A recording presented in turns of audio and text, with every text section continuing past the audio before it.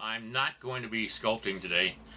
Um, I've been spending the whole day since I got up uh, answering questions to the foundry, getting questions answered for the foundry, getting questions asked of the client, and getting those back to them, and then uh, working on an offshoot of this commission. And I'm talking about the Captain Lovewell uh, commission. It's just, it, I just barely got back from the post office. I just ran up there real quick and um, I'm just not going to get a chance to get in the studio today. Just too much other stuff I am doing right now. The the uh, bronze of the Captain Lovewell piece is due to be done in three weeks.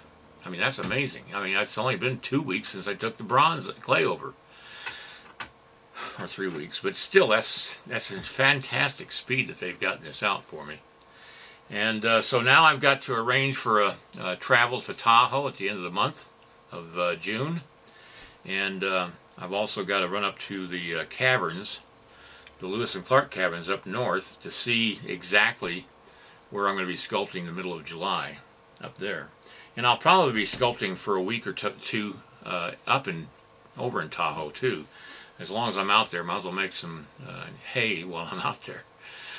So I apologize, not in the studio, but uh, just uh, one of those busy type of days where you're making phone calls, checking the emails, and sending emails out. And right now, I got to get another email out to the foundry with photographs and measurements and all that stuff of the uh, Captain Lovewell piece.